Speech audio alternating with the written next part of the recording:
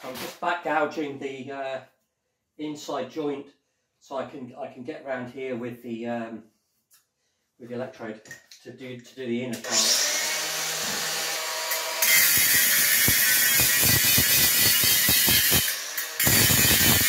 just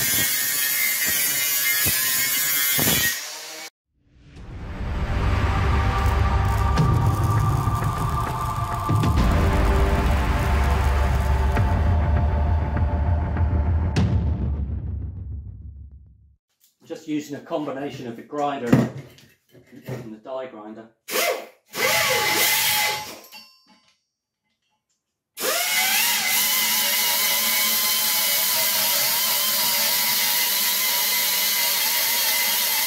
So you can see now that I'm completely through to the uh, inner inner bead. Um, so I'm going to go round this now with a um, 309 moly stick rod.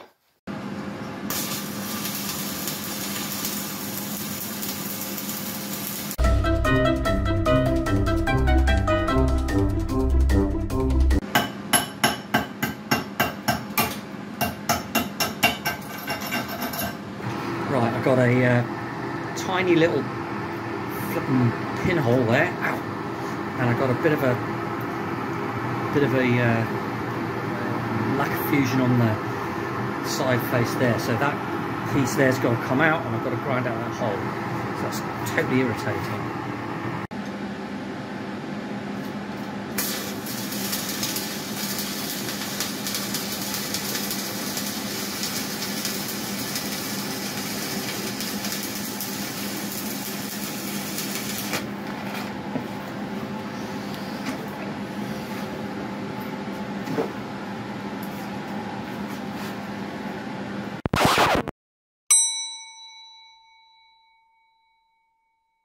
So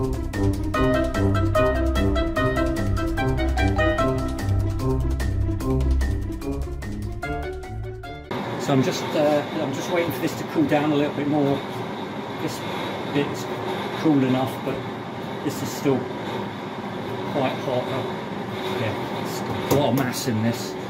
Um, so I'm going to go two more runs, one there, and another one there.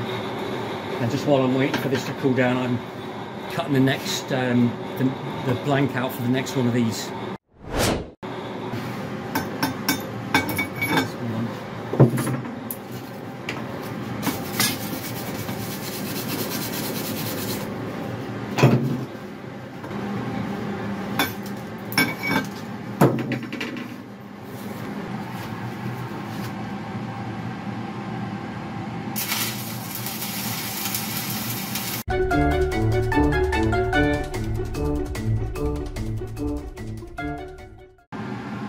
Last last run very last run yes.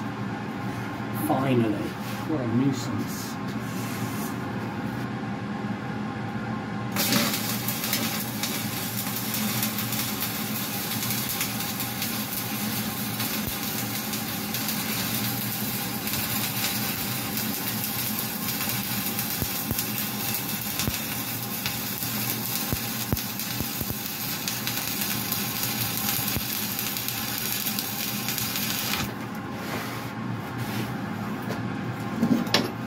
any bets on it? A massive hole in it?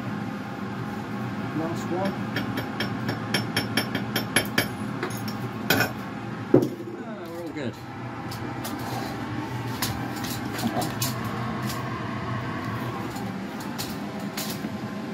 I finished the, uh, the the welding on that now there so it's done uh, on both sides. A bit difficult to see